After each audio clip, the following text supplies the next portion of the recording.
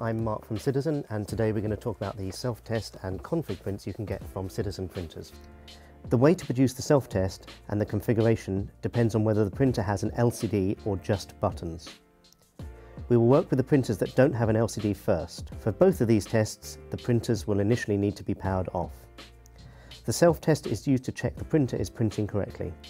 It removes possible driver, communication or software issues and the media does not need to be correctly calibrated for the self-test to print correctly.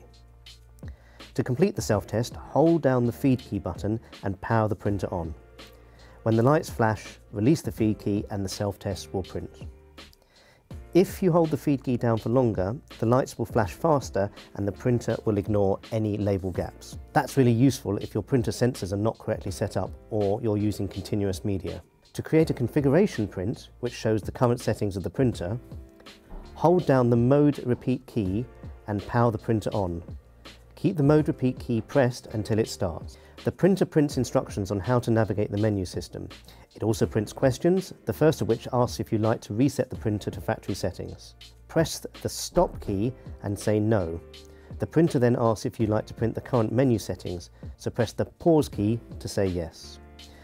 You can now make changes to the printer's configuration if you need, or return to normal operation, switch the printer off and on again. For printers with a, an LCD, it's more convenient to use the keypad and display. To start, we need to press the menu key to access the printer's menu system. We use the feed and menu keys as up and down keys to scroll through the menus. You're looking for a test mode.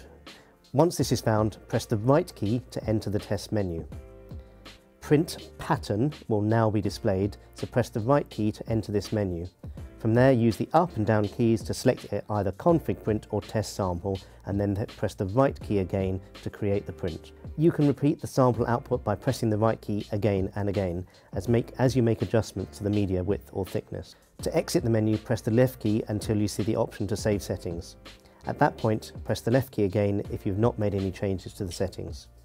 You can also use the free utility software available from our website to make config changes on all of our printers and visit our YouTube channel for more helpful videos on Citizen printers.